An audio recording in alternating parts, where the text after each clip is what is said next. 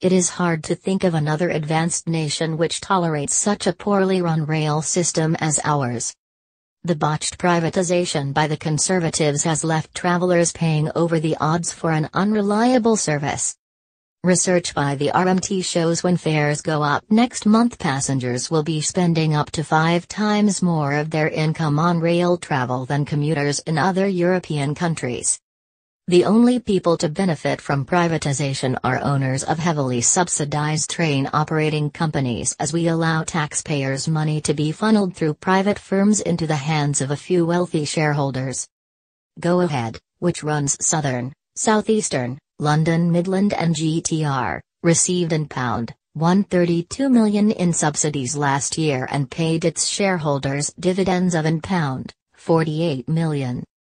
This might be excusable if passengers got a decent service at a reasonable price. Instead, we pay billions a year to underwrite private firms who fleece passengers and fail to run services on time.